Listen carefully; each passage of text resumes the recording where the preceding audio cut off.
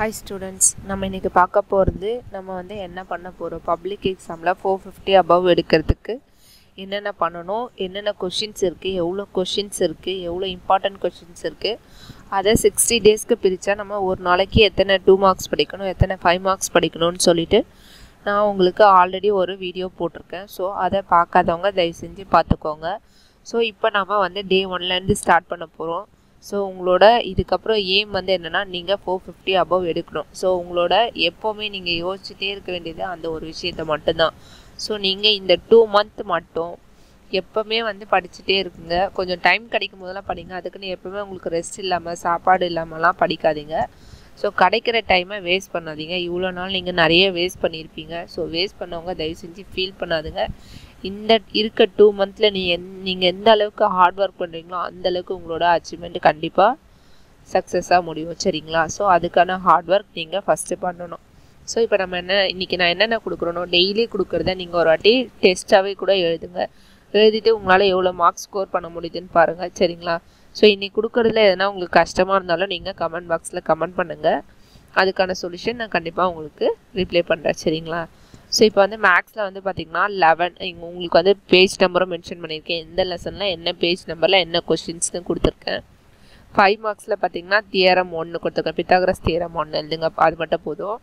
Next வந்து six point த்ரீல page number two fifty nine six point த்ரீல three four five six இந்த நாலு எக்ஸசைஸ் போடுங்க. சரிங்களா? நெக்ஸ்ட்டு டூ மார்க்ஸுக்கு இங்கே கொடுத்துருக்கிறது போடுங்க. நான் அந்த மாதிரி மிக்ஸ் பண்ணி உங்களுக்கு கொடுக்குறேன்.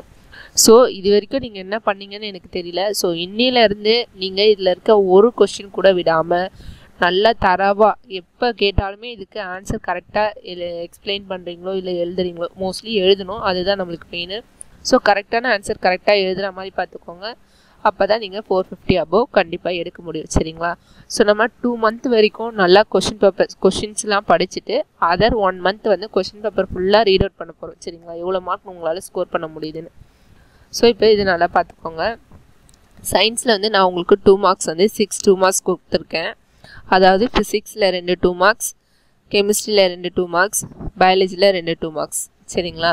நெக்ஸ்ட்டு ஃபைவ் மார்க்ஸ் வந்து பார்த்திங்கன்னா ஃபிசிக்ஸில் ஒன் கெமிஸ்ட்ரியில் ஒன் பயாலஜியில் ஒன் கொடுத்துருக்கேன். ஸோ இது மட்டும் இன்றைக்கி படிக்க பாருங்கள் சோசியலில் வந்து பார்த்திங்கன்னா டூ மார்க்ஸ் கொடுத்துருக்கேன். ஸோ எத்தனை டூ மார்க்ஸ்னு பார்த்தீங்கன்னா டென் டூ மார்க்ஸ் கொடுத்துருக்கேன்.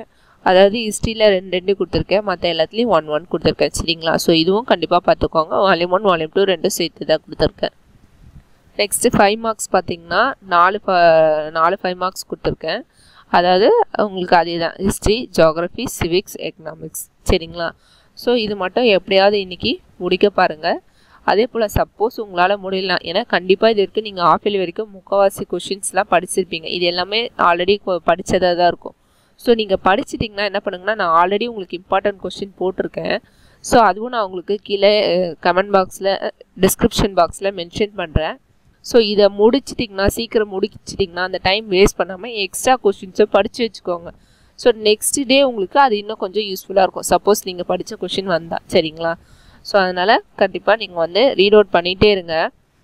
உங்களுக்கு எக்ஸ்ட்ரா வேறு எதுனா ஐடியாஸ் இருந்தாலும் நீங்கள் தாராளமாக வந்து கமெண்ட் பாக்ஸில் கமெண்ட் பண்ணலாம். ஸோ அதுக்கான அந்த ஐடியாவை எக்ஸிக்யூட் பண்ணுறதுக்கு நான் கண்டிப்பாக ஹெல்ப் பண்ணுறேன் சரிங்களா? ஸோ இந்த வீடியோ பிடிச்சிருந்தால் லைக் பண்ணுங்கள் இது வரைக்கும் சப்ஸ்கிரைப் பண்ணாதவங்களாம் மறக்காமல் சப்ஸ்கிரைப் பண்ணிடுங்க. உங்கள் ஃப்ரெண்ட்ஸ் எல்லாருக்கும் சப்ஸ்கிரைப் பண்ண சொல்லி மெசேஜ் பண்ணிடுங்க. சரிங்களா? Thank you students all the best இன்னிலேருந்து நம்ம டே ஒன்லேருந்து கரெக்டாக பிளான் பண்ணுவோம். சரிங்களா? பாய்